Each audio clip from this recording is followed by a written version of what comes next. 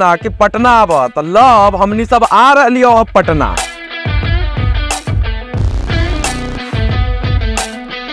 सोलह जुलाई के ज्ञान भवन में हवा।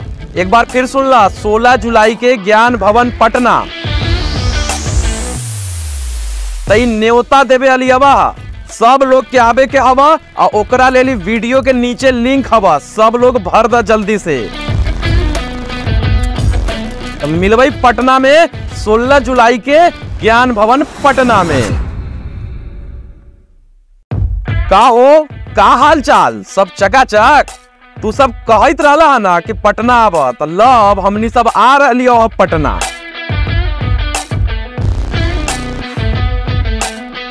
सोलह जुलाई के ज्ञान भवन में हवा। एक बार फिर सुन ला सोलह जुलाई के ज्ञान भवन पटना। तई न्योता देवे अली हवा सब लोग के आवे के हवा और ओकरा लेली वीडियो के नीचे लिंक हवा। सब लोग भर द जल्दी से।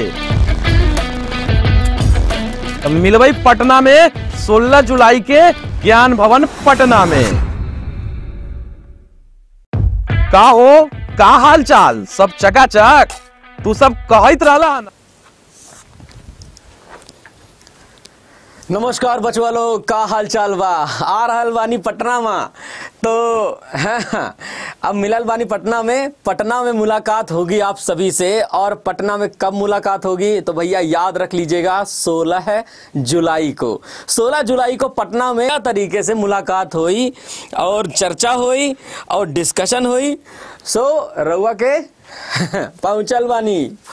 पहुँचना ज़रूरी है। बिना पहुँचे तो काम बनेगा नहीं। फ़िलहाल आइए डिस्कशन करते हैं आज हमारे एसएससी सीजीएल जीके जीएस इस सीरीज़ का। परंतु जीके जीएस सीरीज़ का इससे पहले की डिस्कशन करें। दोस्तों, अड्डा 24/7 ऐप जो आपको देता है दुनिया भर के फ़ायदे। उस दुनिया भर के फ़ायदे वाले ऐप को मात्र एक क्लिक से आप डाउनलोड कर सकते हो, जिसकी लिंक दी हुई है आपके कॉमेंट सेक्शन में। तो कॉमेंट सेक्शन में जो लिंक दी हुई है ना, उस पर क्लिक कीजिए। क्लिक करने के बाद अड्डा 24/7 ऐप डाउनलोड कर लीजिए। तो आपके कमेंट सेक्शन में जो लिंक है, उसको देखो ब्लू कलर वाली, उस पर क्लिक करके डाउनलोड कर लो। करंट अफेयर्स फ्री में जॉब अलर्ट डेली के quiz subject wise quiz magazine power capsule notes articles videos ये सब कुछ मिलेगा आपको पूरी तरह से फ्री ऑफ़ कॉस्ट तो आप लोग बिल्कुल ज्वाइन कर लीजिएगा और आगे बढ़ते हैं और आगे बढ़ करके दोस्तों इस तरह से हम आपको पीडीएफ भी दे देते हैं हमारे ऐप के अंदर ही तो आप लोग ये पीडीएफ ले लीजिएगा। फ़िलहाल, आगे चला जाए और आगे पढ़ना शुरू किया जाए तो आप पाएँगे कि भैया, हमारा पहला क्वेश्चन ये है कि ई कॉमर्स स्टोर फ्लिपकार्ट के सह संस्थापक इनमें से कौन है? फ्लिपकार्ट के सह संस्थापक। यार, आधे लोगों का पीडीएफ आधे से ज़्यादा लोगों का मतलब 80 परसेंट लोगों का पीडीएफ डाउनलोड हो गया है। ये 20 परसेंट का जो नहीं डाउनलोड हो पा रहा है, उनके लिए बस इतना कहना चाहता हूँ कि ऐप रीइंस्टॉल कर लो। ऐप हटा लो, एक बार अनइंस्टॉल करके फिर यहाँ डाउनलोडिंग लिंक से रीइंस्टॉल कर लो। रीइंस्टॉल करने के बाद कम्युनिटी के अंदर फिर जाओ और ग्रुप पे पहुंचो और वहाँ जाने के बाद जब डाउनलोड वाली लिंक है उस पर क्लिक करके रुक जाना थोड़ी देर तक। अपने आप दिखाएगा पीडीएफ डाउनलोडेड फिर क्लिक करोगे पीडीएफ खुल जाएगा। फिर अपने आप चाहे जहाँ भेज लेना। ठीक है? थोड़ा भी ग्लिच है। चलो अब देखो। ठीक है ना? ई कॉमर्स स्टोर फ्लिपकार्ट के सह संस्थापक इनमें से कौन है? भैया फ्लिपकार्ट को कब शुरू किया गया था? जल्दी बतावा, का 2008 में शुरू किया गया था इसको? 2008 में एक ई कॉमर्स कंपनी जिसका नाम है फ्लिपकार्ट क्या इसकी शुरुआत की गई थी? तो दोस्तों, इसका सही आंसर क्या हो जाएगा? इसका सही आंसर हो जाएगा बिनी बंसल। आपको सुन करके लग ज़रूर रहा होगा कि ये जो बिनी बंसल है, ये बिनी बंसल कोई लड़की है, लेकिन बिनी बंसल कोई लड़की नहीं है। बिनी बंसल साहब आपके सामने यहाँ स्क्रीन में उपस्थित हैं। तो ये देख सकते हो फ्लिपकार्ट की टी शर्ट पहन के बिनी बंसल साहब ही हैं, जिन्होंने फ्लिपकार्ट की स्थापना की थी। आगे बढ़ा जाए तो एक और प्रश्न आपके सामने रखते हैं। बताइए जल्दी से, देवी निशुम निशुंभसा नहीं निशुंभा सुदिनी का मंदिर किसके द्वारा बनवाया गया था? निशुंभा सुदिनी अच्छा देखो निशुंभा सुदिनी का मतलब यह है कि माँ काली का एक रूप। माँ काली का रूप। ऐसा कहते हैं कि माँ काली अम्मन टेंपल कह, कहा जाता है इसे। तो माँ काली अम्मन टेंपल काली अम्मन का मतलब होता है काली माँ। ठीक है ना? तो आप ये मत सोचिएगा कि मैं यहाँ पर देवी नहीं लिख रहा, मैं काली माँ का पूरा सम्मान कर रहा हूँ, इसीलिए माँ काली अम्मन तो काली अम्मन में तो काली माँ टेंपल और कौन से शासकों ने बनवाया था इसे? अच्छा मैं आपको एक बात बता दूँ, ये कहाँ बना हुआ है? तो ये भी जान लो, तंजवूर में बना हुआ है। और तंजवूर कहाँ है? तंजवूर तमिलनाडु में है। अब तमिलनाडु में कौन से शासक हैं? पल्लव हैं या चोल? गुप्त वंश और मुत्तरैयार तो छोड़ ही दो। सही उत्तर क्या हो जाएगा? सही उत्तर होने वाला है इंपीरियल चोलास। किसने बनवाया? इंपीरियल चोलाज ने बनवाया। तो देवी निशुंभा सुदनी का मंदिर, इससे पहले कि आप लोग देख पाए, हम चाहते हैं कि आप लोग जल्दी से दर्शन करें देवी निशुंभा सुदनी के। ये देखिए, ये है देवी निशुंभा सुदनी जो आपके सामने मौजूद है। और आप तो जानते ही हैं देवी निशुंभा सुदनी के बारे में और क्या ही कहा जाए। शानदार। आगे बढ़ा जाए तो आप पाएँगे कि ये मंदिर है, एक बहुत ही शानदार सा, और ये बहुत ही शानदार सा मंदिर। काली अम्मन मंदिर के रूप में और देवी निशुंभा सुदनी आपके सामने है। बोलिए काली माँ की जय। ओम करणाम बदनाम धोराम मुक्त केश चतुर्भुजांग कालिकांग दिव्याम अ, मुंडमाला विभूषिताम शरणागत दिनार्थ, परित्राय पारायणे, सर्वस्याति हरे देवी, नारायणी नमोस्तुते। तो ये एक निवेदन है इनसे। मुझे बीच का श्लोक ज़रूर थोड़ा सा भूला हुआ है, बाकी आगे बढ़ती। बताइए जल्दी से कौन सी नदी है जो अधिकतम देशों से होकर के गुजरती है? बताएँ। कौन सी नदी है जो अधिकतम देशों से होकर के गुजरती है? एक क्वेश्चन हमारी दीपांजलि यहाँ पे स्टूडेंट है, वो पूछ रही हैं, कह रही हैं, सर, बनारस कब आएँगे? बनारस बाबू आया नहीं जाता। हमारे यहाँ मान्यता है कि बनारस ले जाया जाता है ना? तो हँसी मज़ाक की बात से परे ज़रूर आएँगे। आ, बनारस तो एक ऐसी जगह है जहाँ मर करके सीधे स्वर्ग प्राप्त होता है। तो ऐसी जगह को कभी मिस तो बिल्कुल नहीं करना चाहिए। और कौन स्वर्ग नहीं जाना चाहता? है ना? तो बनारस ज़रूर आएँगे, बहुत जल्दी आएँगे और जब भी आएँगे, बताएँगे ज़रूर। आशुतोष सर है ना हमारे? आशुतोष सर हमारे बनारस के हैं, आप लोग तो जानते ही हैं। तो आशुतोष सर को भी बताएँगे और फिर हम और आशुतोष सर बनारस की गलियों में ज़रूर एक बार वहाँ रामनगर में कोई लस्सी फ़ेमस है ना, वो भी और और शायद कोई पान फ़ेमस है। पान वैसे तो मैं नहीं खाता, लेकिन जब कहीं किसी जगह का स्पेशल हो, भाई जीआई टैग ही मिल गया है जिस चीज़ को तो खाना तो बनता है। हालाँकि वहाँ के पान को जीआई टैग नहीं मिला, लेकिन हम बता रहे हैं, खाने वाली चीज़। है ना? कह रहे हैं, गुजरात भी आएगा। अरे, मैं तो गुजराती में, गुजरात में तो रहा ही हूँ। कौन सी नदी अधिकतम देशों से होकर के गुजरती है? तो भैया, जो नदी अधिकतम देशों से होकर गुजरती है, उसका नाम है डेन्यूब। इसको ना दानुबे नदी भी कहते हैं। अच्छा देखो, ये डन्यूब नदी या दानुबे नदी? ये डन्यूब या दानुबे नदी जो है, यूरोप की नदी है भैया, और यूरोप में बहुत सारे देशों से होकर गुजरती है। ऑस्ट्रिया की राजधानी वियना इसी नदी के तट पर है तो एक काम करें, इस नदी को देख लें क्या? अरे, ये देखिए, मैप आ गया आपके सामने। अब जो मैप ही है, नवदीप सर, देखो, जियोग्राफी तो एक ऐसा सब्जेक्ट है कि मज़ा ही आ जाता है। देखिए, जर्मनी के कोने से स्विट्जरलैंड के बॉर्डर से निकलती है ये दानुबे नदी, और ये दानुबे नदी आगे की ओर बढ़ती है, और ये देखिए, इस तरह से ये दानुबे वियना इसी के तट पर है। आगे चल करके आप पाएँगे कि बुदापेस्ट, जो हंगरी की राजधानी है, वो इसी के तट पर है। आगे चल करके आप पाएँगे कि सर्बिया की राजधानी बेलग्रेड इसी के तट पर है। और आगे चल करके आप पाएँगे कि बहुत महत्वपूर्ण से शहर, जैसे कि मैगुरल, निकोपोल, ये सब इसी के तट पर है। और ये गिरती कहाँ है? तो ये गिर जाती है काला सागर में। किसमें गिरती है ये? डानुबे डेल्टा बनाते हुए काला सागर में गिर जाती है, ब्लैक सी में। ये पॉइंट ज़रूर याद रख लीजिएगा। फ़िलहाल, यहाँ पर Vienna Bratislava, Budapest, Mohacs, Novi Sad, Donji Milanovac, Lom और बुकरेस्ट जैसी जगहों से कनेक्ट करती है ये नदी।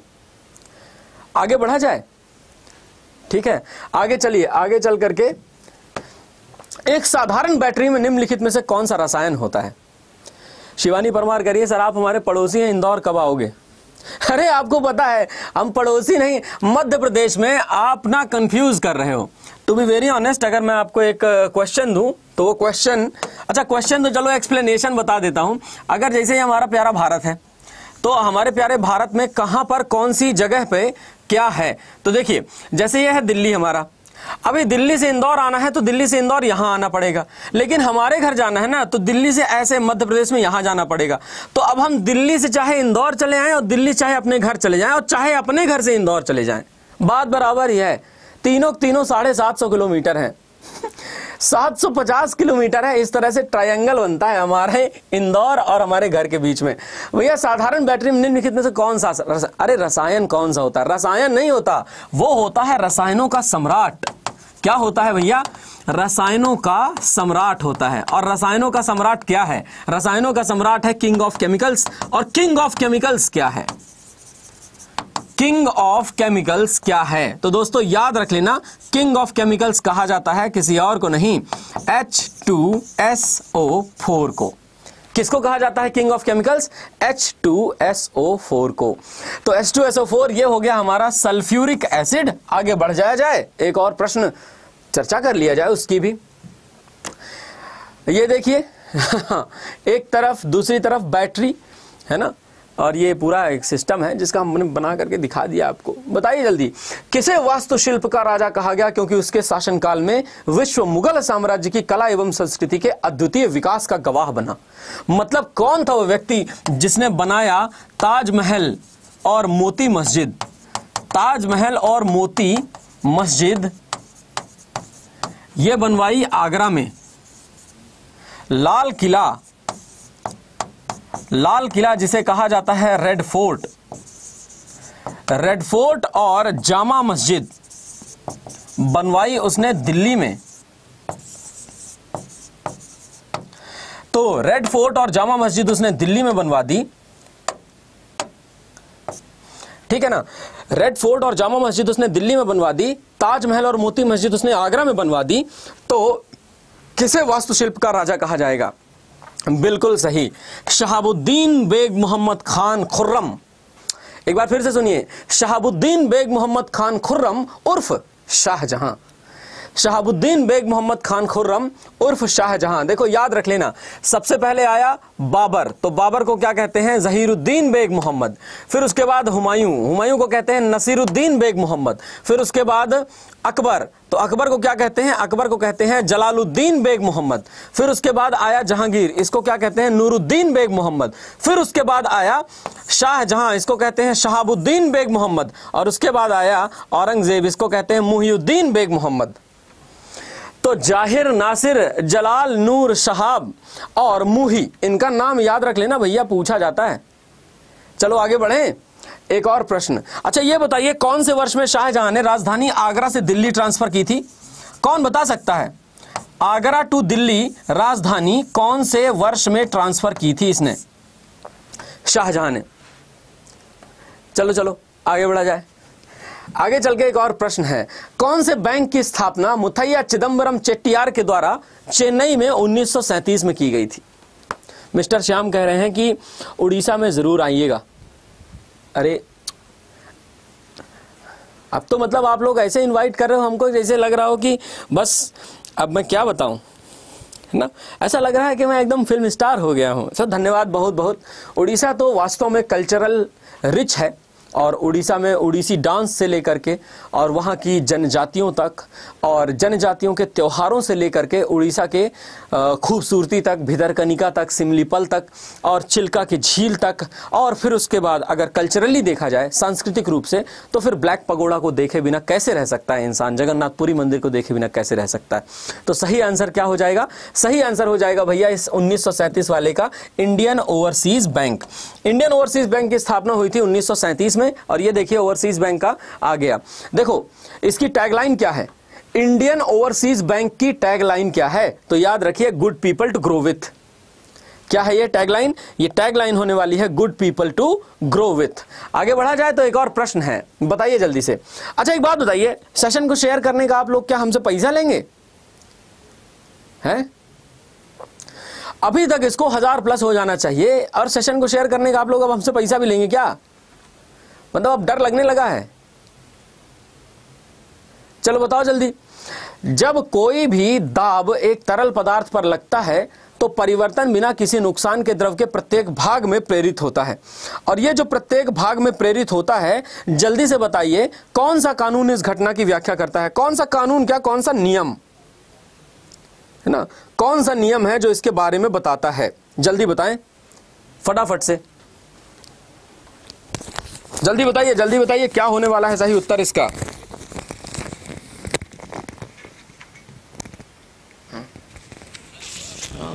हाँ।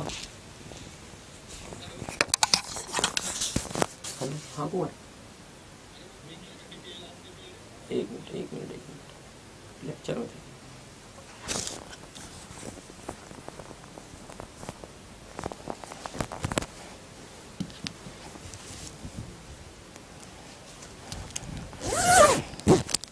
चलिए चलिए चलिए, जल्दी बताइए। देखो भैया, Hooke law, Bernoulli law, Avogadro law, यह कौन सा लॉ होता है? अरे, इसका सही आंसर, देखिए देखिए, ध्यान दीजिएगा इसका सही आंसर क्या होने वाला है, ये भी बता देता हूँ आप सभी को। रुको यार, आजकल ना ट्रेनें इतनी लेट चल रही हैं कि घर वाले कहीं जा रहे हैं ना छोटे बच्चों को लेकर, समस्या खड़ी हो जा रही है यार, बताइए। मतलब अब ये सोचिए कि छोटे बच्चे को लेकर ट्रैवल करना और ट्रेन छः घंटा लेट है। अब ऐसा थोड़ी ना है कि इंसान ये सोच करके चलेगा कि छः घंटे ट्रेन लेट है तो छः घंटे के हिसाब से हम दूध, पानी, राशन सब कुछ ले करके चलें। पहुंचवा दें यार, भतीजी है और भती, है ना, भाभी ट्रैवल कर रही ट्रेन से और छः घंटा ट्रेन लेट है। बताइए क्या कहा जाए? बड़ी समस्या का विषय बन जाता है।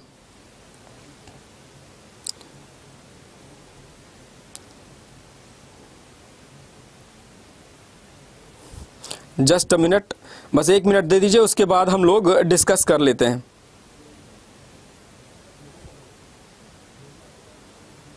चलिए, बढ़ते हैं आगे। है ना? आगे बढ़ते हैं। देखो भैया, एक बात बताएँ, जो तरल होता है, वो तरल से कैसे लगता है ये? तो याद रखिएगा पास्कल का नियम। ये जो पास्कल का नियम होता है ना, पास्कल का नियम होता है इंपॉर्टेंट अब कैसे समझोगे? देखो, मेरा ये कहना है कि मान लीजिए, जब कभी भी आप किसी लिक्विड के माध्यम से प्रेशर नीचे लगाने की कोशिश करते हो ना तो लिक्विड हमेशा हर दिशा में उस प्रेशर को बराबर ट्रांसमिट करता है। एक बहुत अच्छा सा कॉन्सेप्ट है, आप लोगों ने सुना होगा, उस कॉन्सेप्ट को कहते हैं हाइड्रोलिक्स क्या कहते हैं उसको? हाइड्रोलिक्स कहते हैं। तो ये जो हाइड्रोलिक्स का कॉन्सेप्ट है ना हाइड्रोलिक्स का कॉन्सेप्ट इसी पास्कल के नियम पर काम करता है। है ना? कौन से नियम पर? इसी पास्कल के नियम पर काम करता है। अब सोचो हाइड्रोलिक्स का ये जो नियम है हाइड्रोलिक्स का नियम अगर पास्कल के नियम के हिसाब से काम करे तो लिक्विड से लगाया गया ब्रेक जो हर दिशा में बराबर प्रेशर ट्रांसमिट करता है, उसकी एफिशिएंसी ज़्यादा होगी। इसका मतलब यह है कि जो डिस्क ब्रेक होते हैं, वो ड्रम ब्रेक से ज़्यादा अच्छे होंगे। डिस्क ब्रेक ड्रम ब्रेक से ज़्यादा अच्छे होंगे। ठीक है, आगे चला जाए। एक और प्रश्न है, सुप्रीम कोर्ट ने भारतीय संविधान के अनुच्छेद कौन से के तहत इंटरनेट को मौलिक अधिकार घोषित किया? ठीक है अब बता देंगे जीआई टैग क्या होता है, रुको थोड़ा। जल्दी बताओ जीआई है ना जीआई टैग के बारे में बता देंगे, फ़िलहाल इसके बारे में बताओ। सुप्रीम कोर्ट ने भारतीय संविधान के कौन से अनुच्छेद के तहत इंटरनेट को मौलिक अधिकार घोषित किया है? अब इंटरनेट मौलिक अधिकार हो चुका है। Right to internet is a fundamental right article 19 के तहत यह मौलिक अधिकार है। और मैं बताऊँ आपको, केरल में एक केस हो गया था। केरल में एक लड़की ने 2020 में ऑनलाइन क्लास ना कर पाने की वजह से सुसाइड कर लिया था। केरल की सरकार ने इसको तुरंत संज्ञान में लिया और कहा, पढ़ाई बाधित नहीं होनी चाहिए, इंटरनेट की व्यवस्था हर जगह चले। के फ़ोन करके एक उन्होंने योजना चलाई थी। के फ़ोन। इसको कहते हैं केरला फाइबर ऑप्टिक्स नेटवर्क। और ये के फ़ोन योजना के तहत उन्होंने सभी के घर में ऑप्टिकल फाइबर केबल कनेक्शन से इंटरनेट वाईफाई बिठाने की बात कही थी। अब ये बात पता नहीं कितनी सही है, कितनी नहीं कि के फ़ोन के तहत कितना काम हुआ है, लेकिन आर्टिकल 19 के तहत फिर इसे फंडामेंटल राइट ज़रूर घोषित कर दिया गया कि राइट टू इंटरनेट तो फंडामेंटल राइट्स है। समझ रहे हो आप? तो ये इंपॉर्टेंट हो गया। अच्छा अब इसके आगे चलें। तो आगे चल करके एक और प्रश्न आता है, स्वतंत्र भारत के पहले राष्ट्रपति कौन थे? सरल है ये प्रश्न। सरल नहीं, सरलतम है। और यहीं पर हम आपको एक ट्रिक दिया करते हैं ना। क्या कहा करते हैं? कि राजू की राधा है ना? राजू की राधा जाकर गिरी फकरुद्दीन रेड्डी की जेल में, है ना? फकरुद्दीन रेड्डी की जेल में, रेड्डी की जेल में तब राम शंकर नारायण ने, राम शंकर नारायण ने अपनी कलम से प्रतिभा प्रणब कोविंद व मुर्मू लिखा। नारायण ने अपनी कलम से प्रतिभा प्रणब व कोविंद को मुर्मू लिखा। कोविंद को क्या लिखा? मुर्मू। अब देखो यहाँ पे कितना बढ़िया है। राजू का मतलब राजेंद्र प्रसाद जी, राधा मतलब सर्वपल्ली राधाकृष्णन, जाकर मतलब Zakir Hussain, VV Giri, Fakhruddin Ali Ahmed, Neelam Sanjiva Reddy, Giani Zail Singh Ramaswamy Venkataraman, Shankar Dayal Sharma, K R Narayanan, APJ Abdul Kalam साहब, प्रतिभा देवी सिंह जी पाटिल प्रणब मुखर्जी जी और कोविंद जी और मुर्मू जी। देखे ना तो ये याद रखोगे राजेंद्र प्रसाद जी जो थे, राजेंद्र प्रसाद जी दो बार भारत के राष्ट्रपति रहे थे और आज तक दो बार सिर्फ़ एक ही व्यक्ति भारत का राष्ट्रपति रहा है और वो है हमारे प्यार से कहे जाने वाले बाबूजी। क्या नाम है? प्यार से कहे जाने वाले बाबूजी। चलो आगे बढ़ते हैं। अब आगे चल करके एक और प्रश्न है। आगे चलकर एक और प्रश्न है बट ये आप ट्रिक, स्क्रीनशॉट ले लो फटाफट। जल्दी से स्क्रीनशॉट ले लो। स्क्रीनशॉट ले लो, स्क्रीनशॉट ले लोगे तो ये आपको याद रहेगा कि राजू की राधा जाकर गिरी फकरुद्दीन रेड्डी की जेल में। तब रामशंकर नारायण ने अपनी कलम से प्रतिभा प्रणव कोविंद को मुर्मू लिखा। याद रहेगा? ये बताइए। सभी लोग, हाँ या ना? बताओ बताओ। चलो आगे बढ़ते हैं। ये है राजेंद्र प्रसाद जी। अब आगे चला जाए, एक और प्रश्न है, बताइए, निम्न में से किस प्राधिकरण ने P P R T M S राजनीतिक दल पंजीकरण ट्रैकिंग प्रबंधन प्रणाली का शुभारंभ किया? Parties registration tracking management system तो parties registration tracking management system बताइए जल्दी से, ये कौन है इस प्रणाली का शुभारंभ करने वाला? कौन व्यक्ति है जिसने इस प्रणाली का शुभारंभ किया हो? बताइए बताइए। कौन है जिसने इस प्रणाली का शुभारंभ किया हो? और क्या सही उत्तर होने वाला है इसका?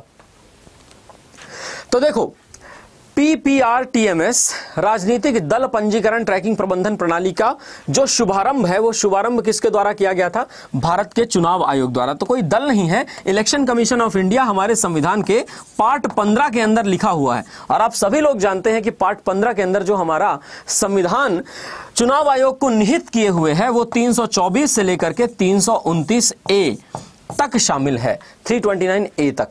क्लियर हो गया? चलिए अब आगे बढ़ें। आगे बढ़ा जाए तो एक और प्रश्न आपके सामने डिस्कस करेंगे। बताइए अच्छा प्रश्न आपके सामने डिस्कस करें। ईसीए का real time tracking platform for political parties और इन्होंने वेरिफिकेशन लॉगिन करके और ये रियल टाइम स्टेटस जो ईसीआई ऑफिशियल्स देंगे, उसके बारे में बताने की बात कही थी। चलो बताओ, सिरका में कौन सा रसायन मौजूद होता है? सिरका जो होता है ना, सिरका में कौन सा रसायन मौजूद होता है? बताइए जल्दी। है ना? सिरका में कौन सा रसायन मौजूद होता है? कौन सा रसायन मौजूद होता है? तो सिरका भैया, अब एक बात बताइए, सिरका क्या है?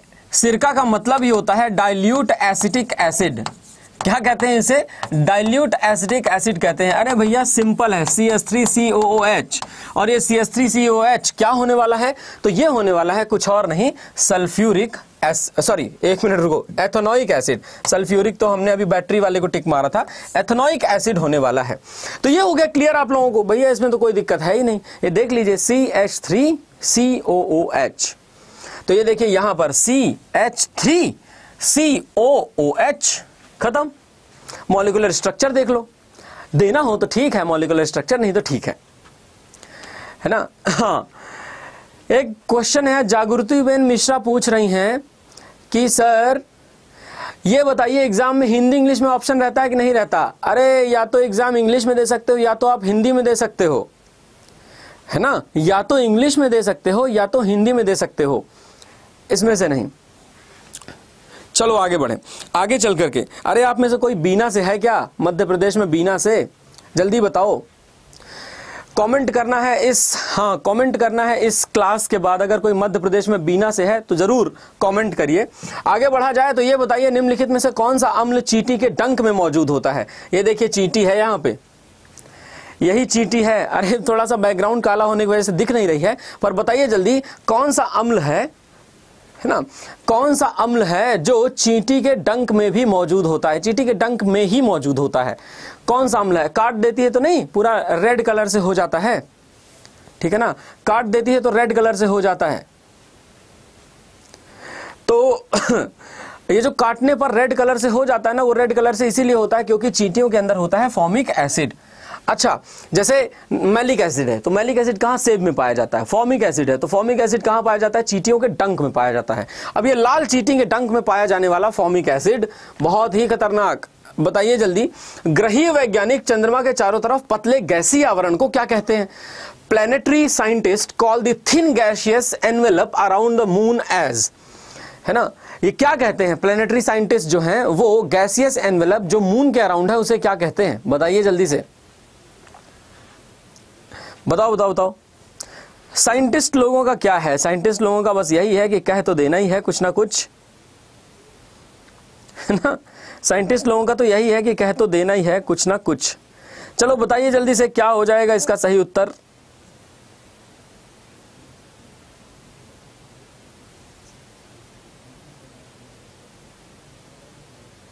क्या होने वाला है इसका सही उत्तर? तो देखो दोस्तों, एक बात सही है। चंद्रमा का एग्जोस्फियर कहा जाता है इसे? इसे लुनार एग्जोस्फियर कहते हैं। ए आंसर सही होगा इसका। ना चंद्रमा का स्ट्रेटोस्फियर है, ना थर्मोस्फियर ना इंडोस्फियर है। ये चंद्रमा का एग्जोस्फियर है, यानी चंद्रमा के बाहर मौजूद। चलो एक काम करते हैं फ़ोटो के माध्यम से आपको बताते हैं, ये देखिए। सूर्य का प्रकाश जब पड़ता है तो चंद्रमा के बाहर ये गैसीय आवरण जो मौजूद है, नीले कलर का दिखने लगता है। हालाँकि चंद्रमा की सतह आपको सफ़ेद दिखती है। चंद्रमा के बाहर वायुमंडल कुछ नहीं है, लेकिन बस गैसों का एक छोटा सा आवरण ज़रूर मौजूद है।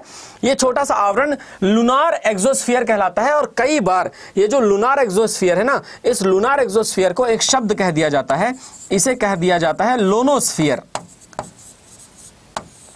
क्या कह देते हैं इसे दोस्तों? तो याद रखिएगा, इसे लोनोस्फियर कह देते हैं। तो ये क्वेश्चन भी एग्ज़ाम में पूछा गया है और इस क्वेश्चन के बारे में भी एग्ज़ाम में, है ना? एग्ज़ाम में क्वेश्चंस आए तो हुए ही हैं लोनोस्फियर के बारे में। अब एक बात बताइए जल्दी से। यहाँ क्वेश्चन ये है कि नील नदी निम्नलिखित में से किस देश में बहने वाली नदी नहीं है?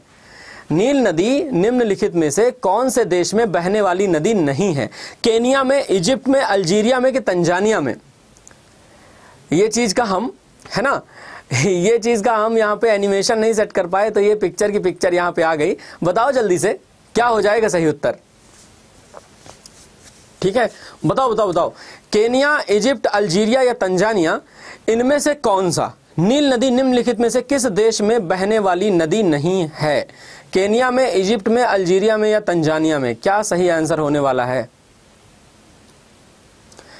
कह रहे हैं कि जीआई टैग सर जी, कौन से स्टेट में है? अरे जीआई टैग किसी स्टेट में नहीं होते। जीआई का मतलब होता है जोग्राफिकल इंडिकेशन भौगोलिक संकेतक। अगर मान लीजिए किसी क्षेत्र में कोई चीज़ अच्छी बनती है तो स्वाभाविक है कि उसकी पहचान विश्व भर में लोगों के पास पहुंचनी चाहिए। एटलीस्ट भारत भर में तो लोगों के पास पहुंचनी ही चाहिए ना। अब अगर भारत भर में आप उसकी पहचान लोगों तक पहुंचाना चाहते हो तो उसके लिए क्या तरीका है? तरीका यही है कि उसको जीआई टैग दे दो। मतलब आपने उस जगह की उस चीज़ को फ़ेमस कर दिया। कहा कि यार यहाँ पे मणिपुर में ब्लैक राइस पाया जाता है, जिसका नाम है चक हाउ मणिपुर के ब्लैक राइस चक हाउ को हमने जीआई टैग दे दिया कि मतलब ब्लैक राइस मणिपुर का बड़ा फ़ेमस है। गोरखपुर में टेराकोटा की बहुत छोटी छोटी मूर्तियाँ बनती हैं। हमने जीआई टैग दे दिया कि गोरखपुर में टेराकोटा की मूर्तियाँ बड़ी अच्छी हैं। है ना? जैसे कोल्हापुर में चप्पलों को जीआई टैग दे दिया गया कि कोल्हापुर की चप्पलें जो स्टाइलिश कोल्हापुरी चप्पलें बनती हैं, वो बड़ी फ़ेमस हैं। तो इस तरह से चप्पल को जीआई टैग दे देना, खाने पीने की चीज़ों को जीआई टैग दे देना, मूर्ति कला को, वास्तुकला को, शिल्प कला को जीआई टैग दे देने से मतलब कि हम उसे फ़ेमस कर रहे हैं। क्या कर रहे हैं हम उसे? हम उसे फ़ेमस कर रहे हैं। तो चलो, फ़िलहाल तो यहाँ तक हम लोगों ने समझा, नील नदी कौन से देश में बहने वाली नदी नहीं है? तो भैया, नील नदी अगर किसी देश में नहीं बहती ना तो उसका सही आंसर है कि वो अल्जीरिया में नहीं बहती। कहाँ नहीं बहती है अल्जीरिया में। बाकी हर जगह बहती है वो, जितने ऑप्शन में है। देखो, यहाँ पे आप देख रहे हो ना युगांडा। युगांडा के बगल में ये देश जो है केनिया है। इथियोपिया से ब्लू नील रिवर, युगांडा से white Nile river white Nile river और ब्लू नाइल रिवर दोनों मिल जाती हैं सूडान में, फिर ये नील नदी के नाम से आगे बहती हैं। और इजिप्ट में, इजिप्ट की राजधानी कायरो, इसी नदी के तट पर बसा हुआ है। बताइए जल्दी से, किस बल के कारण गतिशील पिंड, वायु तथा जल धाराएँ उत्तरी गोलार्ध में दाहिनी तरफ़ और दक्षिणी गोलार्ध में बाई तरफ़ विक्षेपित हो जाती हैं? बताइए बताइए। उत्तरी गोलार्ध में दाहिनी तरफ़ और दक्षिणी गोलार्ध में बाई तरफ़ विक्षेपित होती हैं। आप सभी लोग जानते हो, ये एक तरह का सेंट्रीफ्यूगल फोर्स है। क्या है ये? सेंट्रीफ्यूगल फोर्स है। ना? सयंतन राय गुप्ता कह रहे हैं, आसाम के गमोचा टॉवेल को भी जीआई टैग मिला। हाँ गमोचा गमोचा को मिला हुआ है। गमोसा भी कहते हैं, गमोचा भी कहते हैं। यहाँ नॉर्थ इंडिया में उसको गमोचा कह दिया जाता है, ठीक है? हाँ तो क्या सही आंसर होगा इसका? इसका सही आंसर हो जाएगा कोरियोलिस फोर्स जो कोरियोलिस फोर्स होता है ना, ये कोरियोलिस फोर्स है इंपॉर्टेंट चीज़। और कोरियोलिस फोर्स काहे इंपॉर्टेंट है? काहे की कोरियोलिस फोर्स है, जिसकी वजह से ऐसा हो पाता है कि हवाएँ ये देखिए, दाएँ बाएँ तरफ़ चलती हैं। देख रहा है ना विनोद, हवाएँ कैसे चलती हैं? इधर देखो, इधर से ये दाएँ तरफ़ हवाएँ ऐसे चल रही हैं, इधर से बाएँ तरफ़ हवाएँ ऐसे चल रही हैं। दाएँ बाएँ तरफ़ हवाएँ ऐसे। है ना? जल धाराएँ भी ऐसे, जल धाराएँ। देखो, जल धाराएँ कैसे चल रही हैं? समझ पा रहे हो? पृथ्वी है दोस्त, पृथ्वी। ठीक है, चलो आगे बढ़ा जाए। आगे बढ़े तो आगे बढ़ करके और डिस्कशन करते हैं जो ज़रूरी होगा। ज़रूरी वाला यह है कि बताइए, आँख का वह हिस्सा जो तंत्रिका संकेतों में किसी वस्तु की छवि के रूपांतरण के लिए जिम्मेदार होता है। बताइए, आयरिस है, ऑप्टिक तंत्रिका है, कुंच, विट्रस ह्यूमर है या रेटिना है? क्या सही आंसर होगा इसका? हम्म राहुल रॉय किससे बात करवा रहे हो यार? मैं आपकी बात करवा सकता हूँ एक बार। किससे बात करवा रहा है? चलो चलो चलो, बताओ बताओ जल्दी। सेंट्री पिटल फोर्स नहीं है पंडित, उसको सेंट्री फ्यूगल कहते हैं। सेंट्री पिटल जो होता है ना सेंट्री पिटल का ऑपोजिट होता है centrifugal centripetal is towards the centre centrifugal is away from the centre और centrifugal is a kind of pseudo force that can not be seen but can be felt the simple thing is inertia suppose you are traveling in a bus and suddenly if the bus driver applies the brake you will definitely bow down towards the forward side. And the moment he accelerates you'll get down towards the back side. Why does this happen? It happens because of the inertia being disturbed. Any body remains in motion or rest until the force is applied on it देखे इतना अच्छा अंग्रेज़ी बोले हैं। फ़िलहाल इसका सही answer क्या है? तो फ़िलहाल इसका सही आंसर हो जाएगा भैया रेटिना, है ना? छवि के रूपांतरण के लिए। तो ये देख लीजिएगा, ये जो रेटिना है ना, इसी रेटिना में आकर के फ़ोटो बनती है। अब अगर मान लीजिए इसके पहले ही बन जाए तो पहले ही बन जाए तो उसे मायोपिया कहते हैं। और इसके बाद में जाकर बने तो उसे क्या कहते हैं? उसे कहते हैं, उसे कहते हैं हाइपरमेट्रोपिया। तो याद रख लेना दोस्तों ठीक है ना? याद रख लेना। अभी आगे चल करके इससे हम लोग बातें करेंगे, चर्चा करेंगे। पहले बन जाए, है ना? पहले बन जाए तो क्या कहलाता है? बाद में बने तो क्या कहलाता है? ये क्वेश्चन अच्छा देखो, एक और है। आँख का वह हिस्सा जो तंत्रिका संकेतों में, तंत्रिका संकेतों में किसी वस्तु की छवि के रूपांतरण के लिए जिम्मेदार है तो वो रेटिना ही ना है। रेटिना ही तो ऐसा करता है। कौन करता है ऐसा? रेटिना ऐसा करता है। अच्छा भूमध्य रेखा से ध्रुवों तक सभी समानांतर वृत्त को किसके रूप में जाना जाता है? भूमध्य रेखा से लेकर के ध्रुवों तक। चलो चलो, बताओ बताओ। है ना? देखो देखो देखो, ध्यान दो। हम क्या कह रहे थे? हम ये कह रहे थे कि यहाँ पे ये है हमारी भूमध्य रेखा। आज हमारी ऊर्जा थोड़ी कम लग रही है ना आपको? एकदम चिल्ला चिल्ला नहीं पढ़ा पा रहे। ऊर्जा इसलिए कम लग रही है क्योंकि आज इलायची खा ली है और गला पकड़ा हुआ है। तो जैसे ज़ोर से बोलते खांसी आने लगती है। और इलायची खा ही लेता है इंसान कि मतलब थोड़ा गला वाला गला वाला तो खैर क्या ही है, मुँह से महक अच्छी आती है कॉन्फिडेंस अच्छा रहता है। तो इलायची अब मुझे नहीं खानी, ये चीज़ मैं समझ गया। हाँ तो चलो देखो, अब ये देखिए, यहाँ से लेकर के ये है ये है ये है।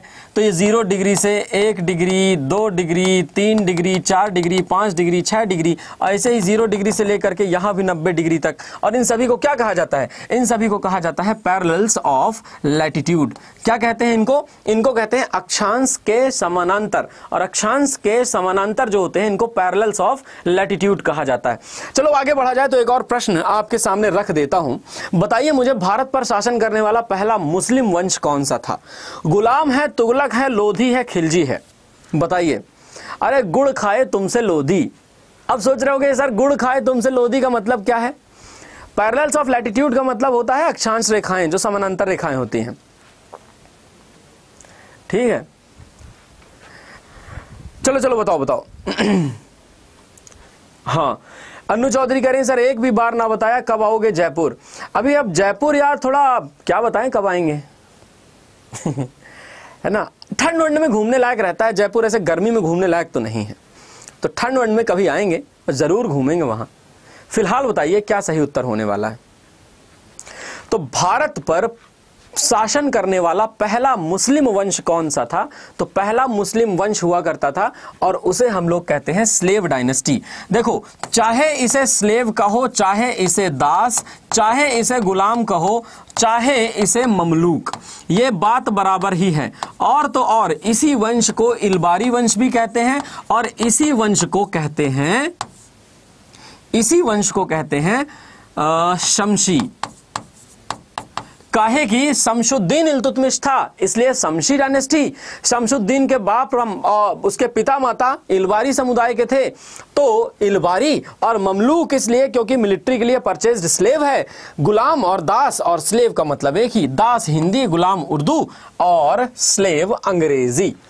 आगे बढ़ा जाए तो एक और प्रश्न, बताइए मुझे। अब ये, अरे मैं इससे पहले की बताऊँ आपको क्या चल रहा था उस समय पर, देखिए आप है ना? ये देखिए रोमन एम्पायर था यहाँ। यहाँ अरब एम्पायर था उमैयद कैलिफेट का।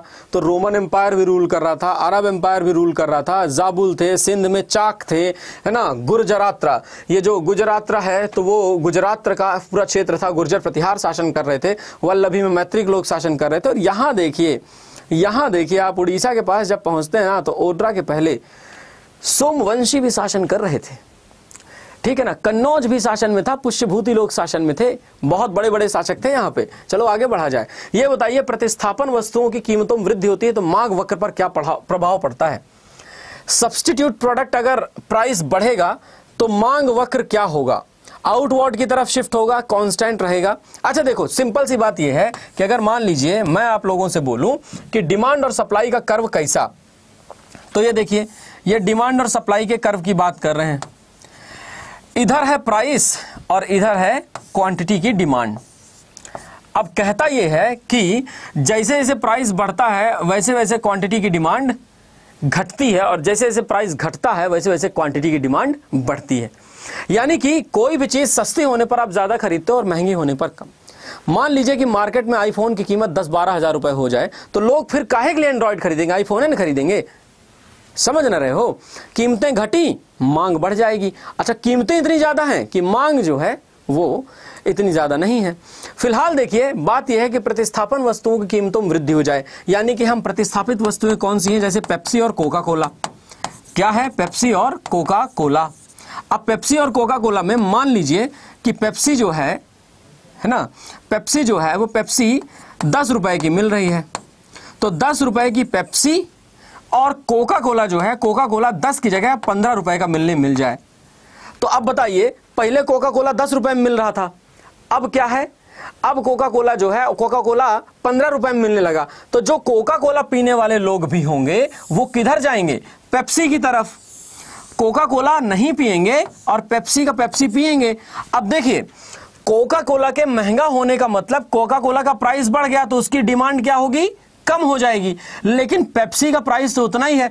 अब जो लोग कोका कोला पी रहे थे, वो सब भी कोका कोला छोड़ के पेप्सी पी रहे हैं। तो पेप्सी की डिमांड क्या है? पेप्सी की डिमांड बढ़ चुकी है। और ये जो पेप्सी की डिमांड बढ़ी है, ये बताइए कर्व किधर जा रहा है? बाहर की तरफ़ जा रहा है कि अंदर की तरफ़ आ रहा है कर्व बताइए जल्दी। ये जो पेप्सी की डिमांड बढ़ रही है, इस डिमांड से ये कर्व बाहर की तरफ़ जा रहा है या अंदर की तरफ़? बताइए बताइए। ठीक है ना? बताओ जल्दी। बाहर की तरफ़ जा रहा है या अंदर की तरफ़ आ रहा है कर्व? स्नेहा कह रही है, सर, एक क्लास जयपुर के जयपुर के महाराणा प्रताप सिंह जी के बारे में बता दीजिए। अरे, जयपुर में नहीं थे महाराणा प्रताप। हे भगवान, महाराणा प्रताप, मुझे माफ़ करिएगा, मेरे स्टूडेंट हैं और उसके बाद आपको जयपुर का कह रहे हैं। आप उदयपुर के थे। I am sorry Maharana ji. ना, देखो, बाहर की तरफ़ जा रहा है ना तो क्या हो जाएगा सही आंसर इसका सही आंसर क्या होगा? सही आंसर होगा आउटवर्ड शिफ्ट करेगा। देखो, ऐसे इकोनॉमिक्स समझो। अब इकोनॉमिक्स समझ में आई आपको? इकोनॉमिक्स समझ में आई कि नहीं? ये बताओ जल्दी से। ठीक तो इकोनॉमिक्स अब समझ में आ गई होगी। अब आगे चलते हैं। आगे चल करके ये बताइए, कौन सा पूरा तात्विक स्थल पर गर्तवास, पिट ड्वेलिंग्स के प्रमाण है? पिट ड्वेलिंग्स पिट का मतलब होता है जैसे हवन के लिए बनाए रहते हैं ना, वैसे। पिट ड्वेलिंग्स के प्रमाण हमें कहाँ मिलते हैं? कहाँ पर? बताइए जल्दी। है ना? Sayantar Roy Gupta life saving drugs जो होते हैं, वो इसेंशियल गुड्स के अंतर्गत आ जाते हैं, ठीक है? जिनकी जो डिमांड है, वो प्राइस पे डिपेंड नहीं करती। लाइफ सेविंग ड्रग्स अगर मान लीजिए एक्स ड्रग और वाई ड्रग एक दूसरे के प्रतिस्थाप्य जनरली नहीं होते, लेकिन ड्रग चाहे महँगा हो जाए, चाहे सस्ता, लोग अपनी जान बचाने के लिए लेंगे ही लेंगे। दवाइयाँ खरीदेंगे ही खरीदेंगे। चलो फिर आगे बढ़े। तो देखो अब यहाँ पर सही आंसर क्या हो जाएगा? सही आंसर हो जाएगा इसका बुर्जहोम। बुर्जहोम कहाँ है? आप लोग सभी लोग जानते हो, कश्मीर की तरफ़ पिट ड्वेलिंग्स का मतलब क्या होता है? पिट ड्वेलिंग्स का मतलब यह है कि देखिए, नीचे की तरफ़ बढ़िया घर रूफ टॉप बना करके और इस तरह से रहना। देख रहे हो ना विनोद? अच्छे से। पूरा रहने का सिस्टम बना के रहते थे यार ये। आगे बढ़ा जाए, एक और क्वेश्चन हिमांशु क्या कह रहा है कि, सर, ब्रिटिश के इतिहास में क्या हम लोग हम लोग कहाँ राज किए हैं? ब्रिटिश लोग उसके बारे में कुछ पढ़ाया जाता है क्या इतिहास में? हम लोग कहाँ राज किए मतलब तुम राजा थे? Do you belong to royalty मतलब राजा महाराजा वाली फैमिली से आते हो क्या? हाँ चलो आगे बढ़ा जाए। एक और प्रश्न है। बताइए जल्दी से, भारत के मुख्य चुनाव आयुक्त का कार्यकाल कितना होता है? जो मुख्य चुनाव आयुक्त है, उस मुख्य चुनाव आयुक्त के कार्यकाल कितना होता है?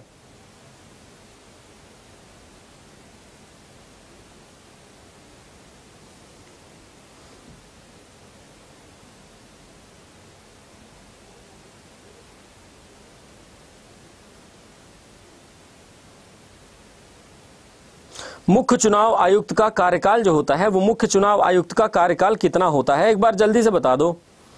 वैसे तो आप सभी को पता है कि मुख्य चुनाव आयुक्त का कार्यकाल कितना होगा।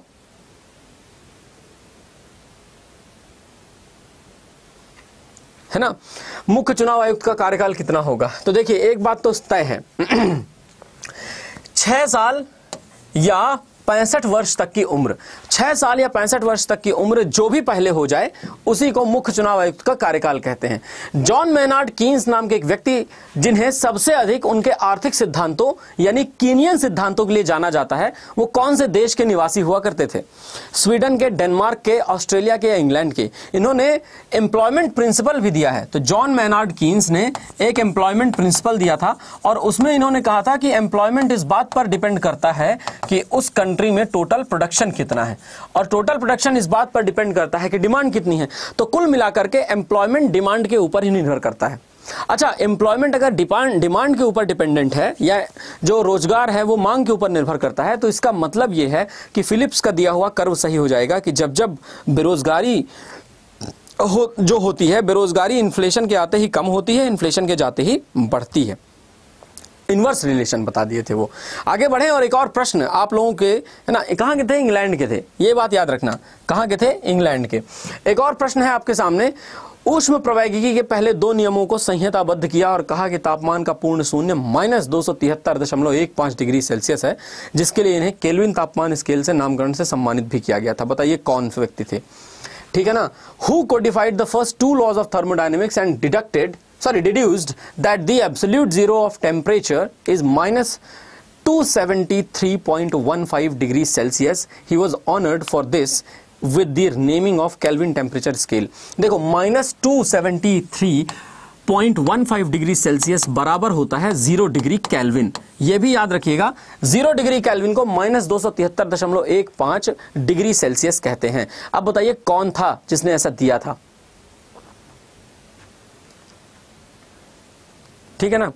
कौन था जिसने ऐसा दिया था? बताइए जल्दी से। क्या हो जाएगा सही आंसर? दोस्तों, एक बार जल्दी से ऐप डाउनलोड करो। और ऐप कहाँ है? तो याद रखिएगा, ऐप जो है ना, वो ऐप, ये देख लीजिए आप, लिंक लगी हुई है कमेंट सेक्शन में ब्लू कलर से। यार, कल मैं इतना रात में बताया, तेरह चौदह सौ लोग मुझे देख रहे थे, और ऐप डाउनलोड किए मात्र तीस लोग। आप लोग मेरी बात ही नहीं मानते। मतलब इससे इससे पता चलता है कि जैसे हम फ्री में कंटेंट आपको दे भी रहे हैं, उसके बावजूद आप एहसान फरामोशी कर रहे हैं हमारे साथ। हमने कहा, यार फ्री में कंटेंट देने के बदले कम से कम ऐप डाउनलोड कर लीजिए। और ऐप डाउनलोड कर लेंगे तो बहुत सारे फ़ायदे आपको फ्री में मिलते रहेंगे। बावजूद उसके ऐप डाउनलोड नहीं किया, यार। लिंक जबकि दे रखी है, बस उसमें लिंक पर क्लिक कर देना है कमेंट सेक्शन के सबसे ऊपर ब्लू कलर की, उसमें भी नहीं किया। तो भैया केल्विन के स्केल से नामकरण सम्मानित जो किया गया था वो किया गया था विलियम थॉमसन को। आगे बढ़े एक और प्रश्न आएगा। बताइए जल्दी से वैदिक सिद्धांत के अनुसार निम्नलिखित में से कौन सा गलत है?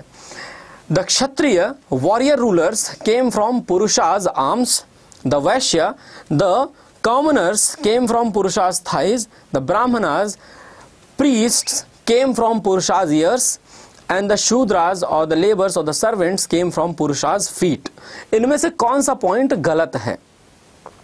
क्षत्रिय योद्धा या शासकों की उत्पत्ति पुरुष की बाह से हुई, वैश्य या फिर आम लोगों की उत्पत्ति पुरुष की चीज़ों से हुई, पुरुष के थाई से हुई। है ना? तो क्या सही है? क्या सही तो इसमें तीनों है, गलत इसमें सिर्फ़ सी वाला है। ये वाला गलत है। और ये वाला जो गलत है ना, ये वाला कि पुरुष हाँ पुरुष पुरुष सूक्त में जो भगवान प्रजापति हैं, उनके मुख से ब्राह्मणों की उत्पत्ति हुई है। किसकी? मुख से ब्राह्मणों की उत्पत्ति हुई। तो ये पॉइंट आप लोगों को याद रख लेना है। बताइए जल्दी से। यहाँ पर अगला प्रश्न है, कौन से हड़प्पन शहर मतलब किस हड़प्पा युग के स्थल पर जुताई वाले क्षेत्र के प्रमाण मिले हैं? जुताई वाले क्षेत्र के प्रमाण, मोहन जोदड़ो के चन्हूदड़ों के, गोबर का ढेर, कालीबंगन या हड़प्पा से। कहाँ पर ऐसा खेती बाड़ी भी की जाती थी? बताइए जल्दी। प्लाऊ, हल वल मिल गया वहाँ पे। क्या लगता है आपको? हल मिल गया, प्लाऊ आऊ का सिद्धांत मिल गया है, कहाँ से मिला है? तो इसका सही आंसर भी देख लीजिए आप लोग, इसका सही आंसर होने वाला है काली बंगन काली बंगन का मतलब होता है काली चूड़ियाँ, यानी ब्लैक बैंगल्स। छोटे किसान और मौसमी मजदूर जैसे लोग जो नियमित रूप से गरीबी दायरे के अंदर और बाहर होते हैं, उन्हें किस रूप में वर्गीकृत किया जाता है? Occasionally poor churning poor always poor या यूजुअली पुअर उन्हें क्या कहते हैं? People like small farmers and seasonal workers who regularly move in and out of property are categorise as क्या कैटेगरी देते हैं उनको, बताइए? हम्म। तो देखो देखो, याद रख लेना, उनको कौन सी कैटेगरी देते हैं? तो उनको कैटेगरी जो दी जाती है, उनको कैटेगरी दी जाती है चर्निंग वर्कर्स या चर्निंग पुअर्स की। देखो दोस्तों, एक बात बताऊँ आपको। अगर मान लीजिए आप इस समय पर कर रहे हैं तैयारी, और तैयारी के लिए आपको करना है बढ़िया काम तो सबसे पहले आप अड्डा ऐप डाउनलोड कर लीजिए दोस्तों। अड्डा ऐप जो है, ये डाउनलोड करोगे आप कहाँ से? तो भैया, ब्लू कलर की लिंक आपके कमेंट सेक्शन में दी है, क्लिक करके डाउनलोड कर लो। इसका स्क्रीनशॉट ले लो, है ना? इसका स्क्रीनशॉट ले लो। तो सबसे पहले तो ये बता दूँ आपको कमेंट की लिंक जो है कमेंट सेक्शन में सबसे ऊपर ब्लू लिंक सबसे ऊपर ब्लू कलर की लिंक है ना? कमेंट सेक्शन में सबसे ऊपर ब्लू कलर की लिंक लगी हुई है तो उसे क्लिक करके ले लीजिए और क्लिक करके जैसे ही लेंगे तो दोस्तों वहाँ पर आपको ये कनेक्ट मिल जाएगा। तो Adda twenty four seven app के अंदर होम पेज में जाइएगा, कम्युनिटी में एक्सप्लोर ग्रुप में और जीएस भाई नवदीप सर यहाँ से ज्वाइन कर लीजिएगा। ठीक है, अब उसके अलावा दूसरा पॉइंट जो आप सभी लोगों से डिस्कस करना चाहते हैं, वो क्या होने वाला है? तो वो ये होने वाला है कि भैया देखो, सबसे इंपॉर्टेंट बात तो ये कि अगर आप लोग तैयारी कर रहे हो एग्जामिनेशन की और तैयारी करते करते आप लोगों को चाहिए कि आप लोग किसी एक ऐसे है ना? पेड कोर्सेज के साथ हमारे साथ जुड़ो, जिसमें आपकी प्रॉपर तैयारी हो सके। तो Adda twenty four seven Google पे सर्च कर लेना, या मोबाइल में ऐप इंस्टॉल करने के बाद उसमें। और इस समय पर देखिएगा ऑल कोर्सेज के अंदर जाकर के एसएससी में पहुंचिएगा। एसएससी का महापैक है। एसएससी के महापैक में चल रही है डबल वैलिडिटी आज ही है लास्ट डबल वैलिडिटी तो भैया डबल वैलिडिटी आप एसएससी के महापैक पर ले सकते हो। याद रखिए, इसका प्राइस क्या है? दो रुपए। तो बाय नाउ कीजिए। और बाय नाउ करने के बाद यहाँ कूपन कोड लगाइए। कूपन कोड होने वाला है वाई टू सिक्स थ्री। जैसे वाई टू सिक्स थ्री लगाओगे, देखिए सत्ताईस सौ उनसठ का हो जाएगा, बारह प्लस बारह महीने की वैलिडिटी वाला।